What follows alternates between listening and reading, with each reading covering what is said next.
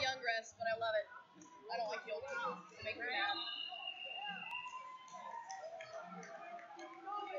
Number three,